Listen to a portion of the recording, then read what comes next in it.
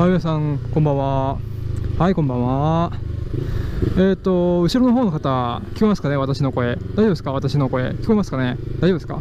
今日はですね、あのー、晩ご飯をね、ただ食べに行くというだけの動画ですね。そして前にちょっと面白そうなバイクが走ってるので、そうですね、ちょっと絡んでみたいと思いますね。これなんですかね、珍しいバイクですね、これは。ツーストですか、これは。見た感じですけど、RZ っぽい感じもしますね。久しぶりの晴れで、いい感じですね。すごくほんで寒い。めちゃくちゃ寒くなってましたね。そそそれ全然よかった。めちゃくちゃ寒くなりました。こんにちは。これなんていうバイクですか ?RZ350R っていうんですかええー、歴史に残るバイク。なるほど。えああなるほど。なるほどこれはじゃあ海の YZF の海の親ということで。なるほど。なるほど。ということでですね今日は RZ 社長にちょっとご同行いただきましてとある晩ご飯屋さんに行きたいと思います。やべうるせえ。めちゃくちゃうるさい。うん。うんうん。ああちょっと聞こえなかった。全然聞こえなかった。この道も通り過ぎてちょっと飽きてきたなって感じですね。声入ってないかな。まあちょっとは入ってるかもしれん。ここにマイクがあるから。こうしたら多分。こうしたら多分いけると思う。今何の話されるか。今これからちょっと行くお食事どころについての話をしてた。お食事どころについての話そうそうそうそう。そうそうそう。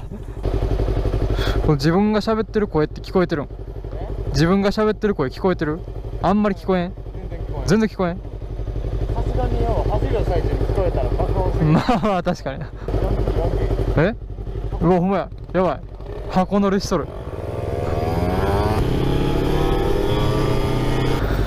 お食事どころはまだですか？もうちょっと？全国のねうん。うん。はい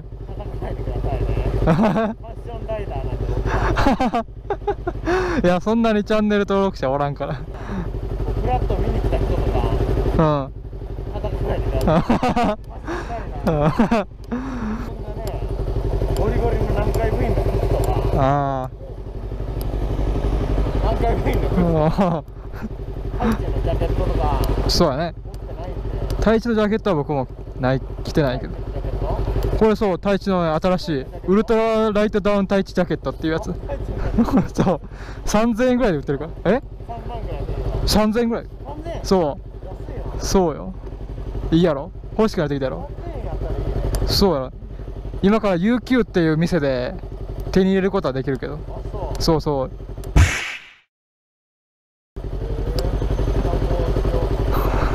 ちょっとお食事どころはもうすぐらしいのでちょっとワクワクウキウキしてきましたね。いやー RZ 社長はねかなりの大富豪ということに聞いてますから今日はどういったお食事どころに連れて行ってくれるのかっていうのは本当に楽しみですね。どうやらここを曲がるようですね。ここですか今日のお食事どころは。お食事どころ今日です。ここですか？キョコって言ったね。って言ってしまった。キョコ？なるほど。ここ初めて来たかもしれん。嘘？ほんま。僕来たことない。なんていうとこ？ここうんケンタッキーフライドチキンタッキーフライドチキンタッキーフライドチキン